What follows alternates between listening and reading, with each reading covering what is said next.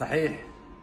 نحن نقر بالهزيمة ونبارك للإشقاء في الإمارات العربية المتحدة. النصر المبين علينا. هزمت اليمن مرة ثانية. هذه المرة بأيدي الحلفاء. في الصمت المريب عن ما حدث لنا ويحدث في عدن. وأيضا للإشقاء في المملكة العربية السعودية. على الصمت لمدة أربعة أيام وشريكنا في التحالف يذبحنا من الوريد إلى الوريد. بعد أربعة أيام من انفجار الوضع وسيطرة المجلس الانتقالي على مؤسسات الشرعية العسكرية والمدنية بما فيها القصر الجمهوري في معاشيق. وبعد أن تم كل شيء ولم يعد هناك من يحارب ظهر خطاب الرياض مطالبا بوقف إطلاق النار. ورغم التهديد السعودي يزداد الانتقالي ضراوة وسط تأكيدات بأن السعودية ستتخذ أي إجراء عسكري ضده.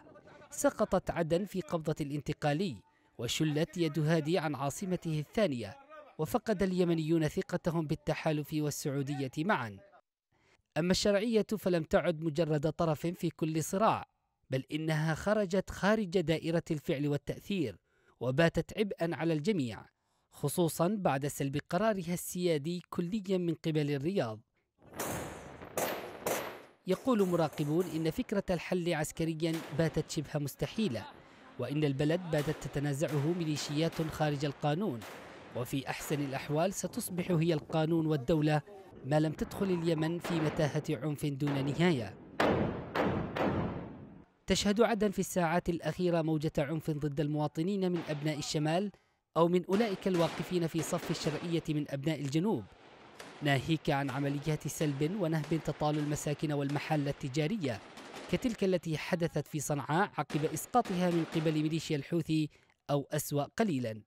في اللحظة التي ينكل فيها برجال الشرعية في شوارع عدن وإسقاط آخر أوراق هادي كان هادي يثني على الموقف الأخوي الصادق للأشقاء في المملكة بقيادة خادم الحرمين الشريفين وفي الحقيقة لم يعد بوسع هادي إلا الثناء على الأشقاء والعودة إلى سباته المعهود.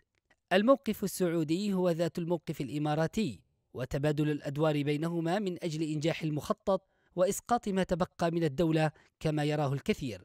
مطالبات لهادي بإعلان إنهاء دور التحالف أو مكاشفة الشعب والمجتمع الدولي بما يرتكبه التحالف من حماقات في اليمن. فلطالما راوغ الخطاب الرسمي للشرعية أمام الانكشاف الواضح في الانتهاكات من قبل التحالف ودعم الفصائل والميليشيات وقصف الجيش الوطني.